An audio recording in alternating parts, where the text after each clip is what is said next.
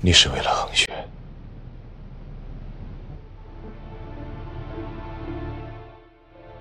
我欠他的。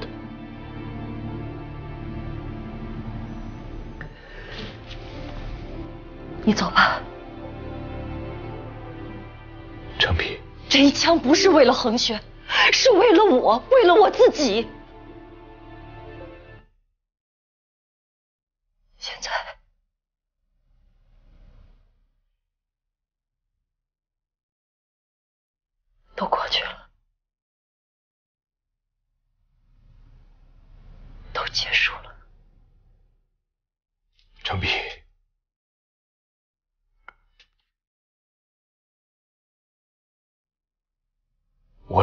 知道恒轩在你心中的分量，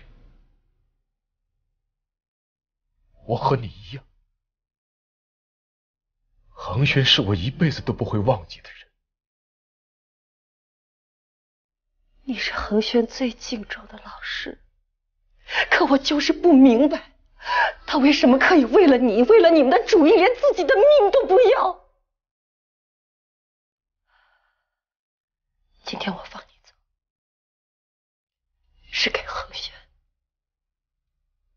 给我们过去的感情一个交代。以后，最好我们永远不要见面。如果有下次，我绝不会手软。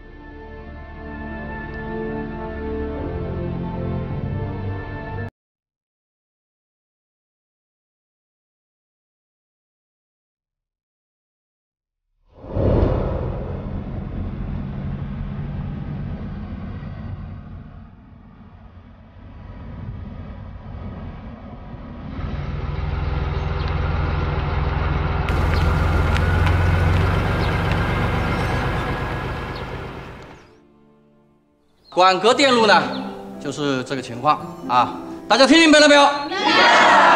好，讲到这里呢，无线电的基础我们都已经讲完了。下一堂课我们要讲无线电的具体应用。那么我们先来啊问几个问题：无线电波和频率，咱们一般分为几种？来，顾双菊。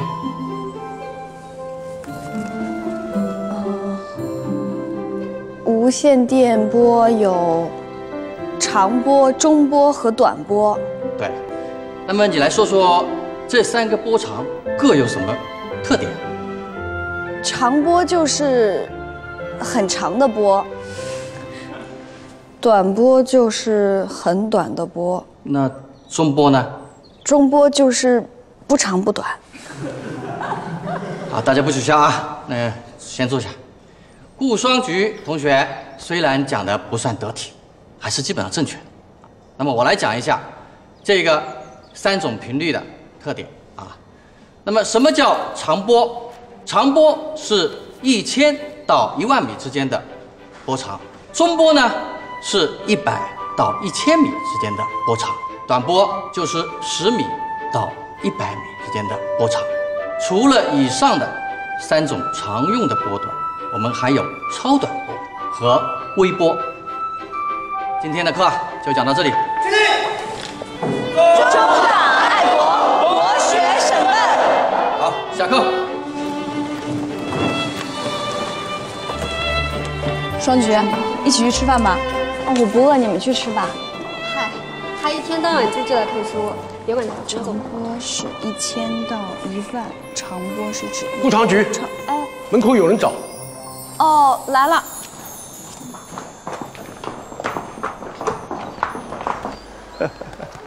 陈特派员，知道您要过来，特意啊为你准备了一桌饭菜。你看，现在也差不多吃午饭的时候了，要不咱们先去吃饭？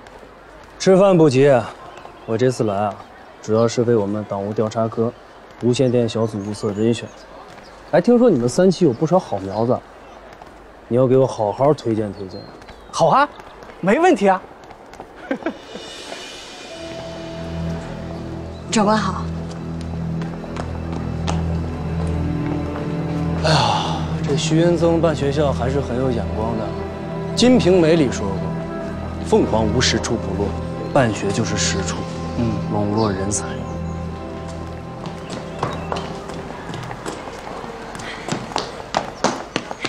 小姐，这么热的天你怎么来了？真好看，真精神。怎么样，在学校里好不好？跟同学相处的好吗？挺好的，反正问你什么都说好，也不知道是不是真的。是真的挺好的。你看，我给你带什么来了？小姐，我这儿什么都不缺。再说天这么热，你千万别再来了。而且过几天就是月末了，我就可以回去了。回去了你就不回来了？真是的，快拿着，嗯，都是你喜欢吃的，你看。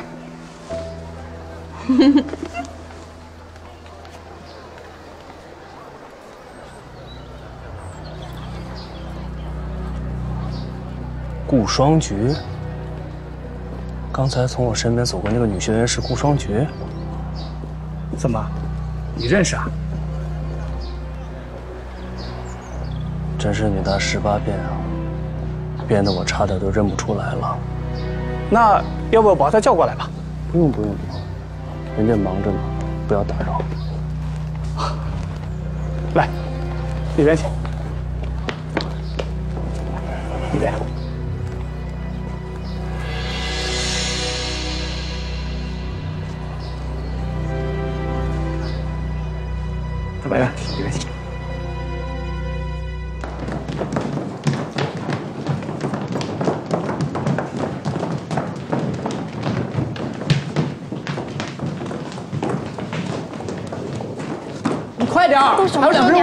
再不走就要来不及了。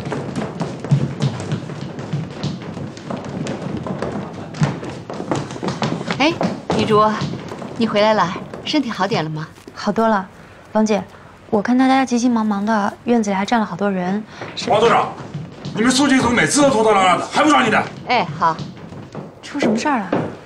你没来这几天，每天都这样。自从特派员受了嘉奖之后，每天都要给大家训话。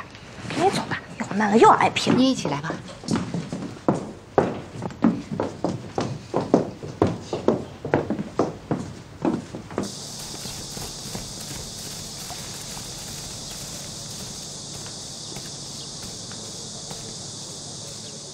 今天晚了十三秒，十三秒，同志们，我一再强调，我们和共产党拼的就是时间，谁能在最短的时间内消灭对方，谁就是赢家。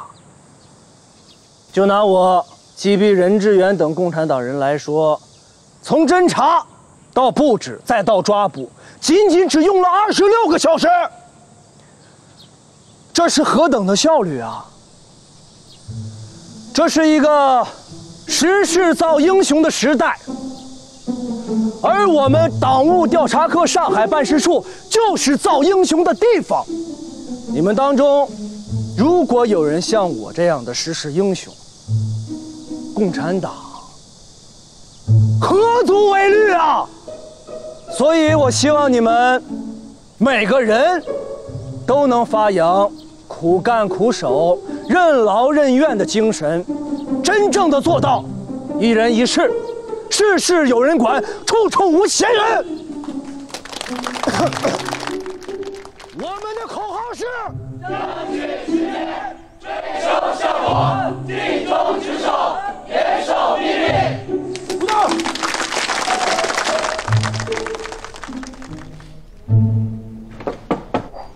进。宋副主任，这是今天的报纸和信件。哎，这是什么呀？哦，这个是陈特派员要求印刷的内部刊物，说是为了方便他宣传抓捕共产党的经验。哦，下去吧。是。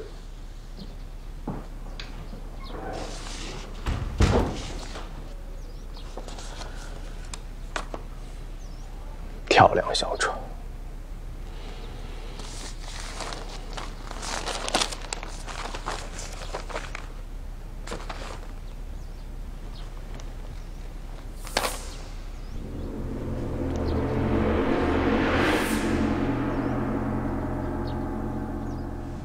孟主任，找我有事儿。来，新特派员，看看这个。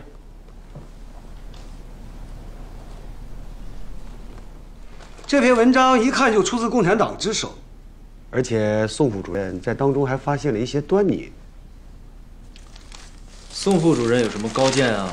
高见不敢当，只不过这篇文章的作者虽然是一个叫海德的人，但是我觉得他的文笔有些似曾相识。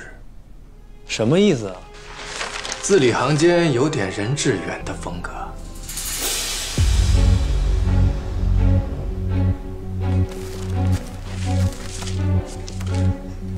一个死人还能发表文章？你的意思是任志远还活着，我被耍了是吧？陈特派员，先不要着急嘛。文笔这个东西说明不了问题，我也只是猜测而已。只不过任志远的尸体一直没有被找到，这还是不能掉以轻心啊。行，宋光，等我把这个海德抓回来。你再说话。走了，孟主任。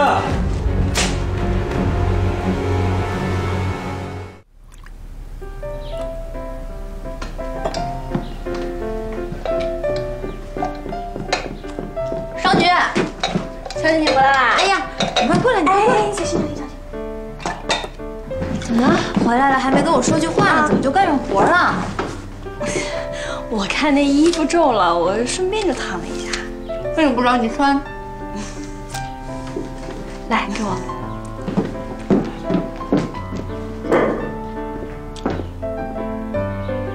我是没手没脚吗？过来，坐下。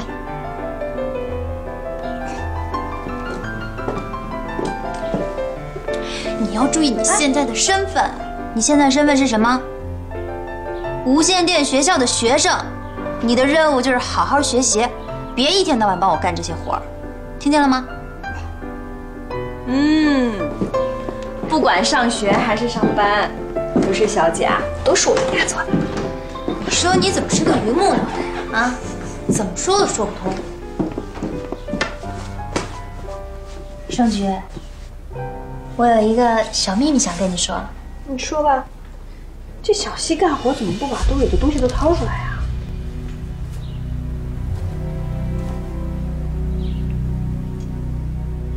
小姐，你受伤了？你伤到哪儿了？啊？这不是我的。那是谁的？是，是不是程碧姐受伤了？不是，不是。哎呀，你管那么多干什么？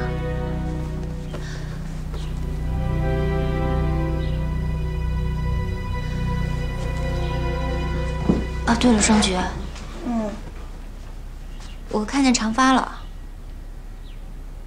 长发？小姐，你怎么会见到他？他被陈德道抓了，因为共产党的事儿。他跟共产党在一起？他那个软骨头，是不是说了什么了？陈德道对他用刑了。那他现在怎么样了？我已经找人去打听了，人已经放出来了，但是现在不知道他的下落。不管他以后如何，总之，小姐你千万别再搭理他了。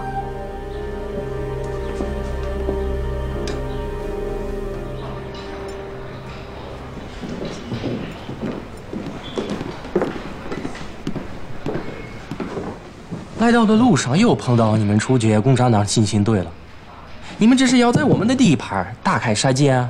对付他们共产党还分什么你们我们？看看这个，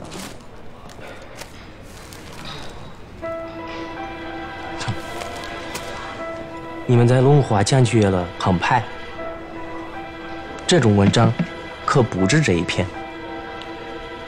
这个作者你听说过吗？海德，又是他。你认识他？见过一面。他是信火出版社的签约作家。只见写过一篇文章，叫《恒辉》，很有意思。恒辉，嗯，对，说的是写给他死去的学生。死去的学生，恒，夏恒轩，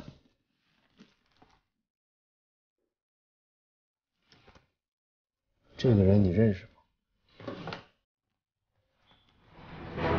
对，就是他。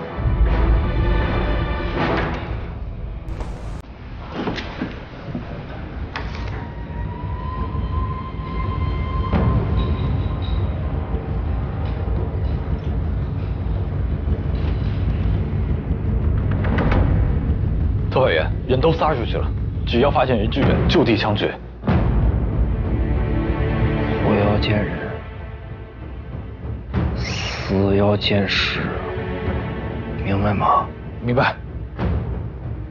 要快，不能让这小子再露头了，要不然我一世英名就毁于一旦。是。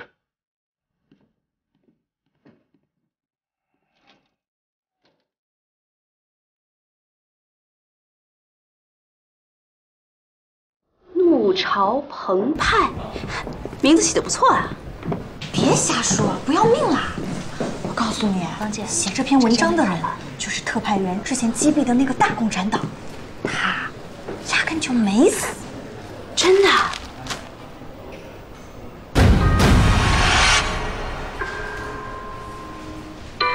你说写这篇文章的是那个大共产党？你怎么知道他没死？哼，人家小付啊，在行动队有相好，消息啊灵通的很。哎，你们说，要是那个人真的没死，那特派员岂不太没面子了？可不嘛，这是炸活，丢死人了。这下有好戏可看喽。陈德道要干什么？还能干嘛呀？现在整个行动队的人全部都派出去了，就是为了要抓这个人。估计啊，也活不了多久。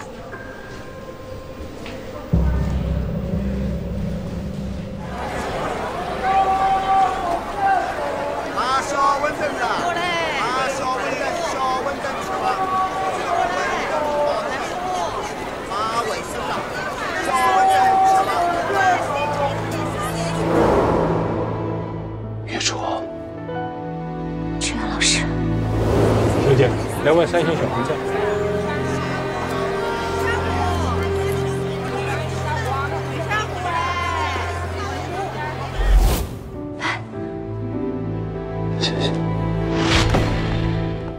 还是我带你去个地方吧。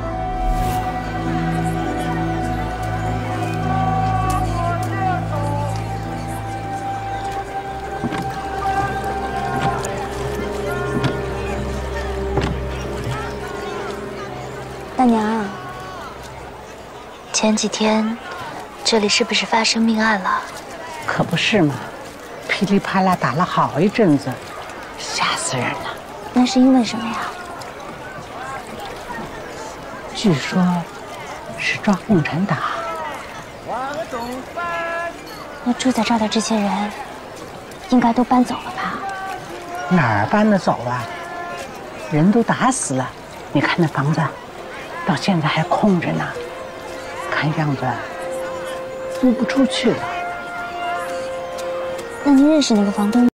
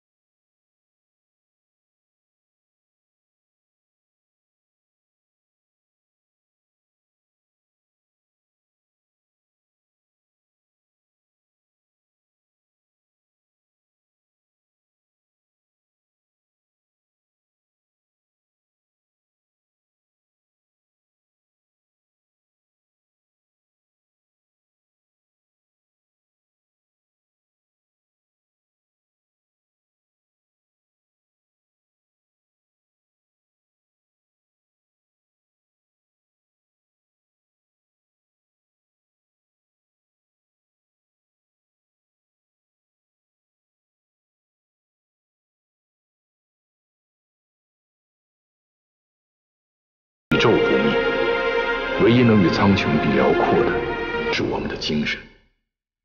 皮鞭的撕咬，鲜血的飞溅，烈火的焚烧中，真理与谬误，正义与邪恶，民主与专制，人性与兽性进行着殊死的较量。血还在流速，说你英魂的永存。子弹划破的天空，那是自由的通道。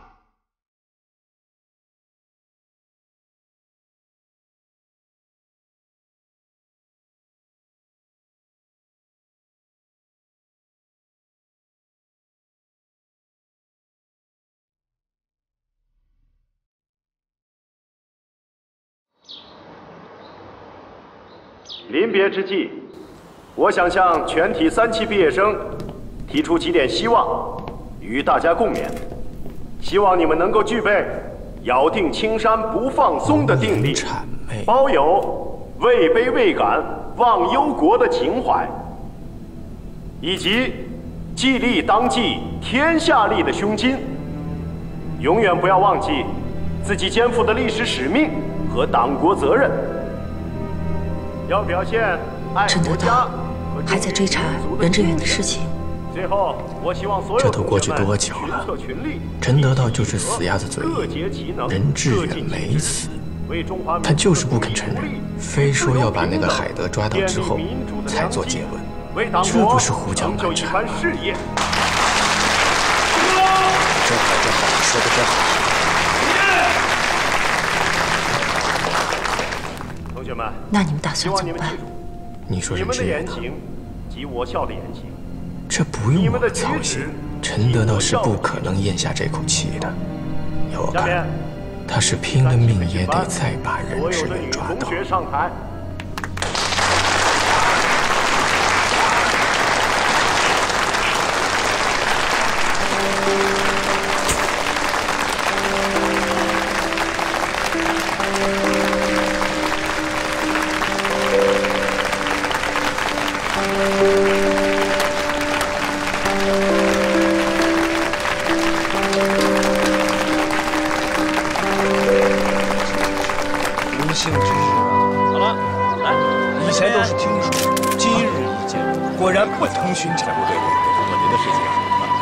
双菊，真为你高兴。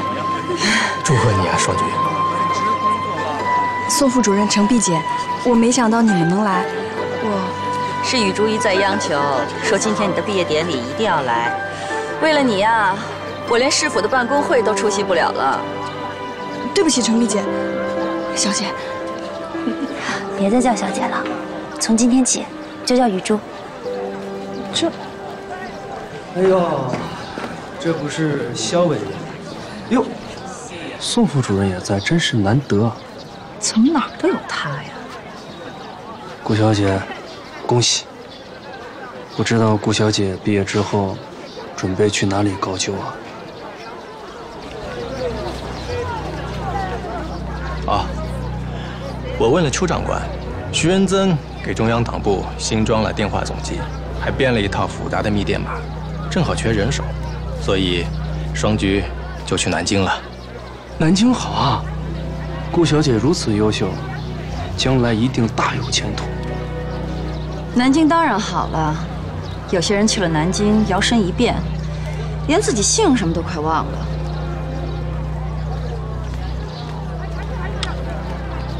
健忘的不止我一个人吧？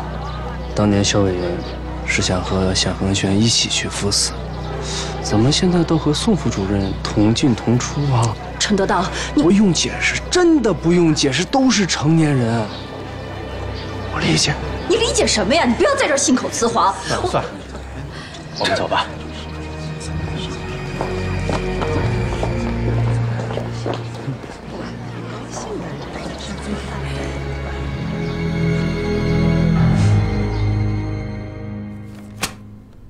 最近社会治安这么不好，几乎天天都有绑架案。你的稿子里为什么只字不提？这是上面的意思，让我们尽量避开敏感的话题，多宣传一些积极的方面，稳住民众的情绪。那民众又不是傻子啊！你不写，他们就不知道了。要想稳住民众情绪，尽快的抓住那些匪徒，这才是宣传最好的手段。是。拿回去重写，不要避重就轻。好。喂，哦，宋大哥啊，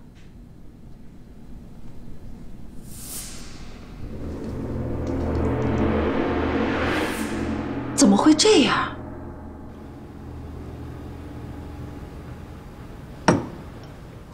怎么会竞选失败呢？那监察委员会的那些候选人，论资历、论能力，都没法和你相提并论啊！没有人看重你的资历和你的能力，他们只在乎你的背景。怎么说？老蒋生性多疑，你我都是汪先生这边的人，就算我们肝脑涂地的去表现，也不可能得到重用的。不是，这都是为党为国，有必要分得那么清楚吗？这就是政治啊！你还记得北伐刚结束的时候，蒋介石就忙着削藩了？汪先生被逼着出走法国，领头的人物都这般下场，那我们这些下面的人就更不用说了。能让你保住现在的职位已经不错了。怎么会再让你更上一层楼呢？这就是独裁！全国统一才几天呀？啊，问题全都暴露出来了，舆论也一样，整天避重就轻，一句实话都没有。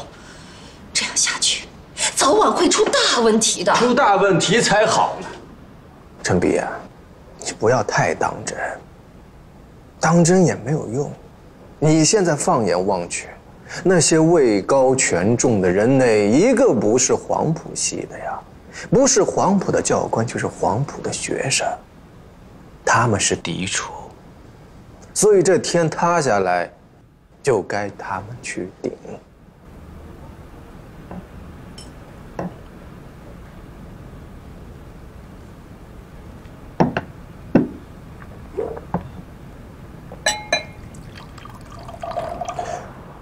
哎，对了，我在我们办事处的新进人员名单里面看见顾双菊的名字了。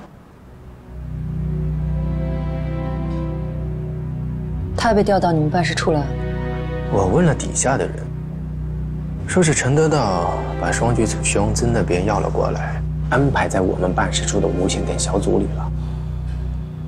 毕业典礼那天，我就看出来了，这个陈德道。他对双菊感兴趣，走着瞧吧。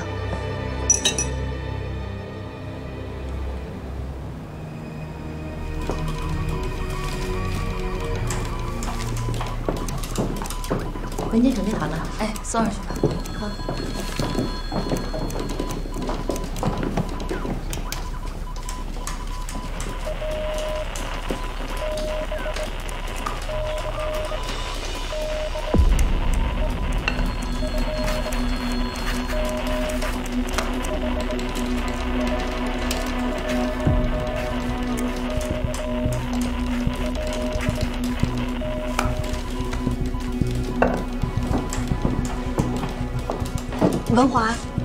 怎么了？我发现了一个可疑的电波，是吗？嗯，这个发报手法我记得，它按键的力度和间隔长短与之前共产党的电波很相似。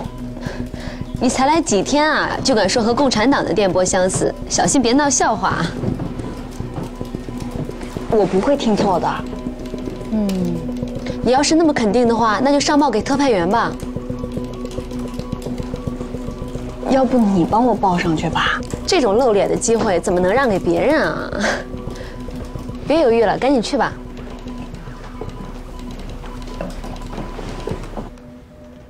你的意思是，这组密电码很可能出自共产党的电台？好，我会尽快找人破译。你辛苦了，顾小姐。实不相瞒，是我把你留在上海的。我很看重你的能力，希望你不要令我失望。而且我觉得你在这里工作和夏一竹又是个伴儿，这也算一举两得。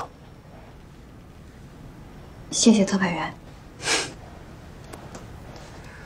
上海虽不比南京，但这是建功立业的地方，也是可以施展才能、更好的为党国效力的地方，所以，我很期待你日后的表现。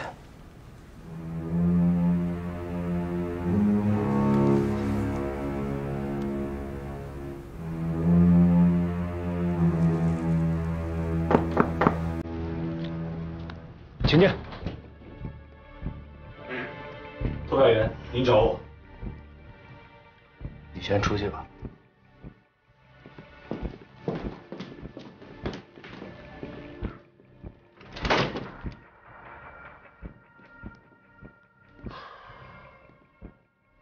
任志远的事查的怎么样了？一直在查，可到目前为止还是没什么进展。一群废物。星火出版社查了没有？查过了，那家出版社好像一夜之间消失了。我的脸都让你们丢尽了。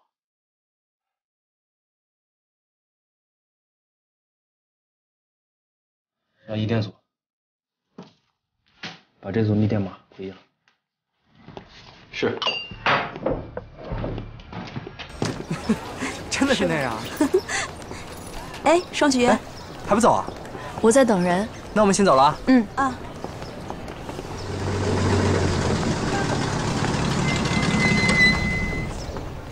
怎么站在门口啊？特派员，我在等小姐。这里没有什么小姐，只有同志，明白吗？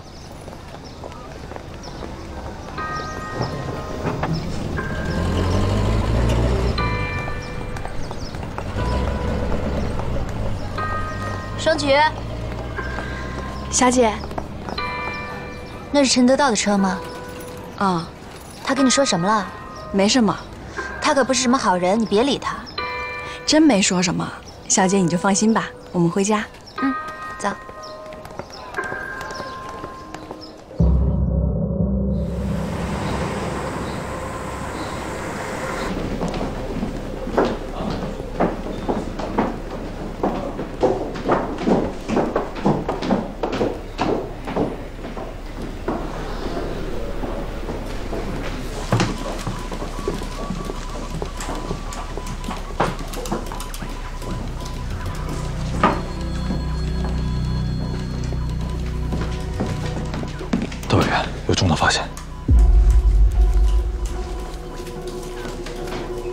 是那组密电码破译的内容。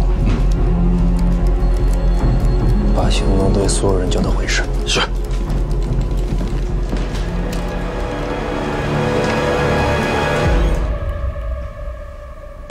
这是破获的密电，华安五零五。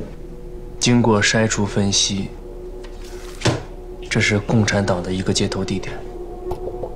静安四路华安饭店五零五，弟兄们，这是一个千载难逢的好机会，我们一定要好好把握。下面，我来说说具体的行动方案。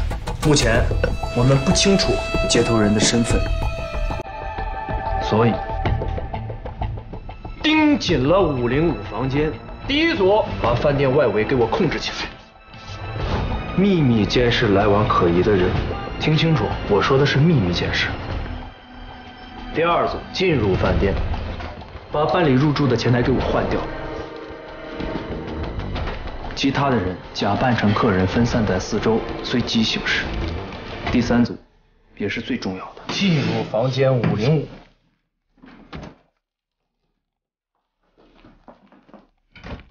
安装窃听器，不要露出破绽。明白。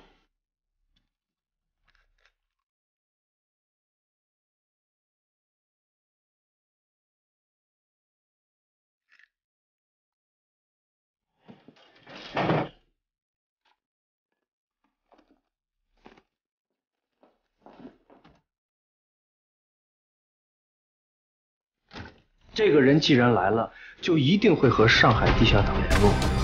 我的目的是一网打尽，明白吗？明白。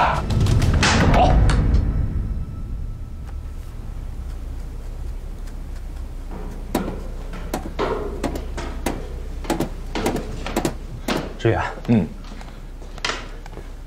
怎么样？都安排妥当了吗？安排好了，明天下午老宋就到了。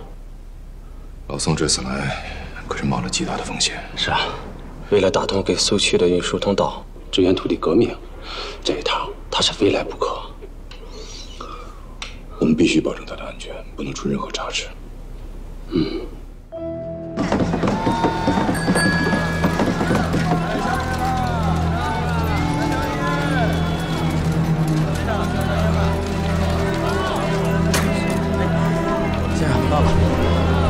谢谢先生。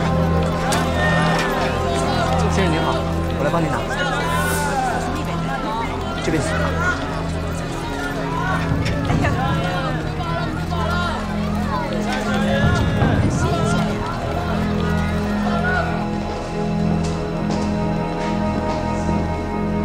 你好，先生。您好，我订了五零五房间。先生，请问您贵姓？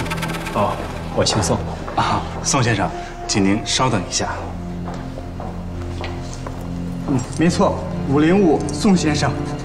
先生，这是您的房间钥匙，请拿好。电梯在那边。谢谢。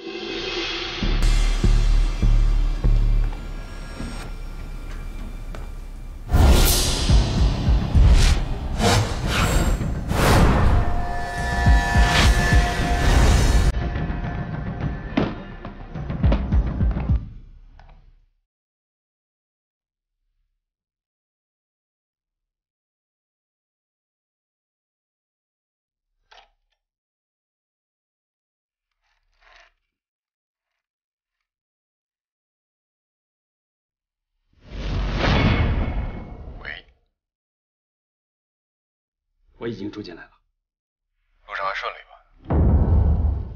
一切顺利。我在老家给你带了一些东西，什么时候方便我拿给你啊？好，下午六点我过去找你。好，下午见。